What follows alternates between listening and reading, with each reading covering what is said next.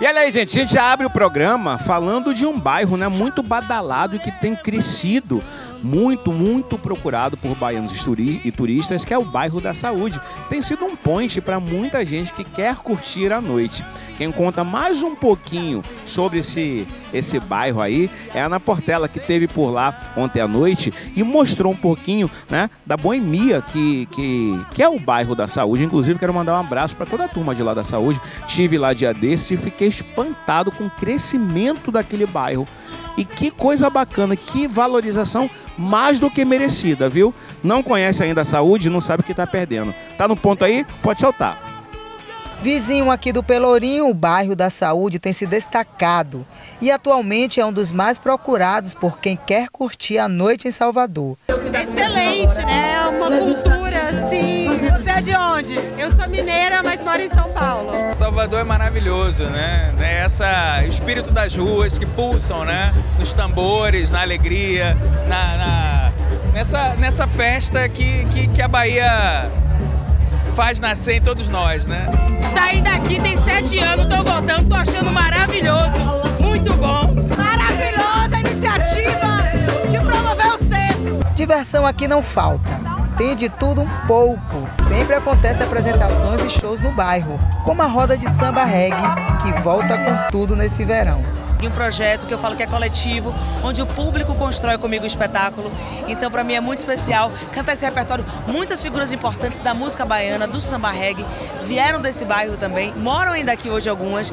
Então, para mim é imensa alegria poder devolver para o bairro música e cultura, sabe? Eu fico muito feliz. E no verão de 2024, que promete ser um dos verões mais antológicos da Bahia.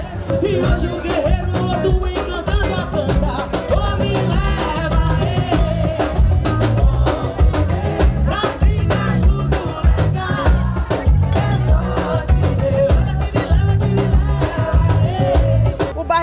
Saúde hoje é um dos lugares mais procurados por baianos e turistas. Aqui você acha de tudo, uma gastronomia diversa, também bares e restaurantes e uma comida para todos os gostos. Além disso, toda festa que acontece gera emprego e renda para muita gente que mora no local. É sempre bom para o comércio, né? Porque agrega a localidade e faz com que todo mundo possa ganhar sua, seu dinheiro também no começo do ano. Outro ponto bem procurado do bairro da Saúde fica no Largo do Godinho, um lugar mais tranquilo para quem gosta de desfrutar de um bom papo e reunir a família. Dá para conversar, dá para a gente interagir, não tem muito som alto. Com a família reunida, melhor ainda. E quem gosta de novidades, a opção é degustar de um prato autêntico de boteco com uma cerveja estupidamente gelada, um clássico que os botecos do bairro se orgulham em ostentar. A saúde tem se tornado um bairro gourmet. Você pode vir para cá para almoçar, para jantar, para se divertir, passar o dia com a família. E a gente está muito feliz com tudo isso que tem acontecido. Por aqui você também encontra drinks diversos preparados na hora. A expectativa aqui é receber muita gente, muita felicidade, muita alegria para o povo. E para encerrar a noite, um churrasquinho bem temperado cai bem, não é mesmo?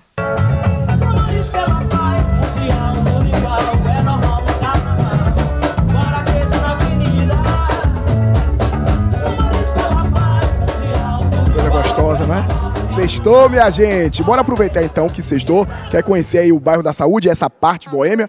Vai lá, vai lá se, se divertir. Tem muitas atrações, né? Como vocês viram também, um cenário gastronômico muito gostoso. Tem um charameu que tem um balá que pega fogo também, né, Leozinho? Um abraço para você aí. Logo ali perto também tem a moraria, comeu a lambreta. Minha querida Carla Guaurão sempre me leva ali para comer uma lambreta também.